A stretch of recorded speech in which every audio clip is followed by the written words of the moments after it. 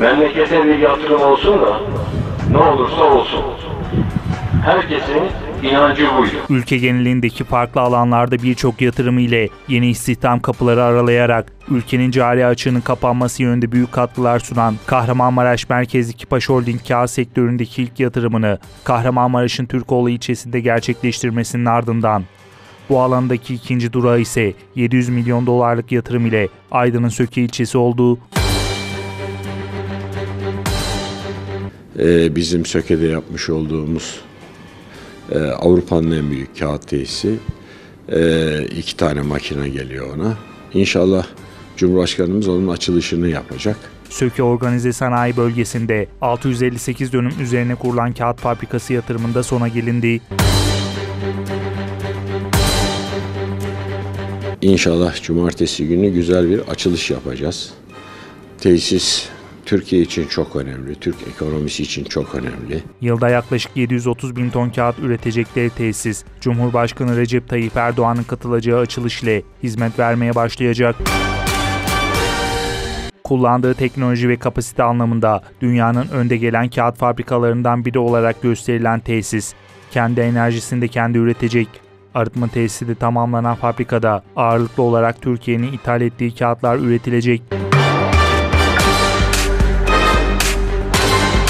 Kipaş Holding Yönetim Kurulu Başkanı Hanife Öksüz, Aksober'e yaptığı açıklamada Türkiye'nin 300 milyon dolarlık ithalatını ortadan kaldıracak. Üstelik 200 milyon dolar da ihracat planlıyoruz. Fabrika kendi branşında Avrupa'nın en büyüğü olacak diye konuştu. Bazı özel kağıtlar var Türkiye'nin ithal ettiği. Bunları doğrudan ilk defa biz üreteceğiz orada. Ee, aşağı yukarı 200-250 milyon dolar ithalatımızı ortadan kaldıracağız. Bu bakımdan stratejik bir belgeye sahip. Aşağı yukarı 1 milyar dolarlık bir yatırım. Birinci grubu 550 milyon dolarlık bölümü tamamlandı ve üretime geçti. Açılışını yapacağımız bölüm. Diğer ikinci etapta 450 milyon dolar. Onun da yüzde 40'ını tamamlamış bulunuyoruz. İnşallah önümüzdeki sene sonu veya öbür senenin ortası o bölümde üretime geçecek. O zaman Avrupa'da tek noktada en büyük kağıt üreticisi şirket olacak burası. Ee, sanayi tesisi olacak. Bir kere çevreye de çok duyarlı.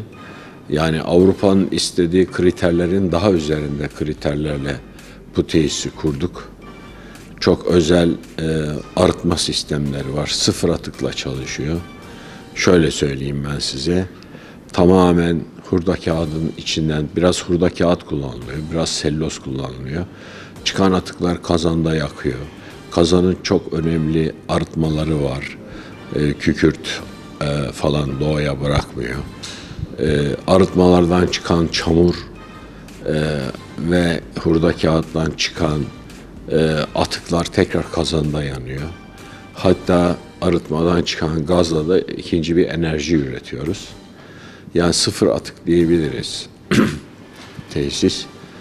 Hayırlı uğurlu olsun. Tabii biz bunu neden e, Söke'ye yaptık? Burada biliyorsunuz bir kağıt fabrikamız var. Oldukça da başarılı bir tesis. E, çünkü e, burada bu bölgenin hurda kağıdı ancak bu tesise e, yeterli geliyor. Orada bir bu konuda bir boşluk vardı. Hatta Yunan adalarından falan bile biz e, hurda kağıt tedariki yapacağız orada. O nedenle Türkiye'nin en büyük vilayetlerinden bir tanesi de İzmir biliyorsun. İzmir'e yakınlığı itibariyle o e, fabrikayı da oraya kurduk. Maraş'a ilave yatırımlarımız var. Nişasta tesisimiz var, devam ediyor. Bu tesis çok önemli. Özellikle çiftçilerimiz için.